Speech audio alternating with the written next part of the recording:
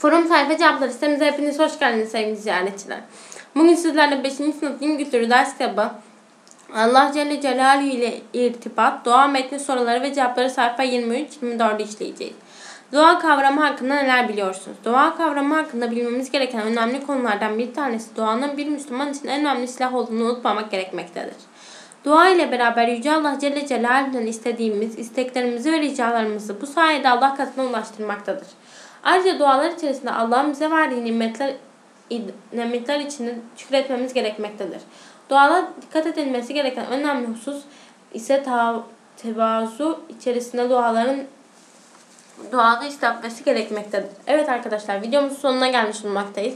Videomuzu beğenmeyi, kanalımıza abone olmayı, aklınıza takılan soruları yorumlar kısmına yazmayı unutmayınız. Videonun altındaki linkten sitemizi ziyaret edebilirsiniz. Bir başka konuda görüşmek üzere. Hoşçakalın.